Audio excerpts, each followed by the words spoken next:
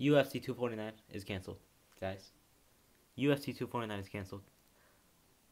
Ferguson versus Gaethje. The potential fight of the decade is canceled. Also, the firefights in there, uh, Francis Ngannou versus Jairzinho Rozenstruik is canceled. Uh, Jeremy Stephens versus Calvin Kattar is, is canceled.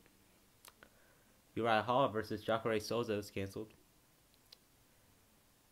Those are such good fights, man. I mean, Namajunas versus Andrade got canceled before the whole event got canceled. And I was excited for that too, man. I mean, what else is there? Greg Hardy was fighting on that card. It was such a stacked card, man. Now we get to miss out on that, man. I mean, I know y'all, uh, some of y'all saw this coming, but I didn't. I mean, Dana White said it was gonna happen, and I believed him. And I thought it was gonna happen. He got a location and everything, but it didn't happen, man.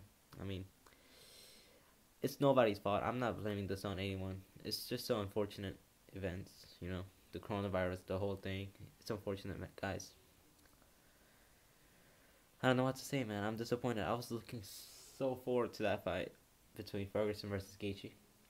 It would have been it would have been fight of the year for sure. I mean, not for sure, but it could have been. It had the potential to be fight of the decade. It could have been the greatest fight in UFC history.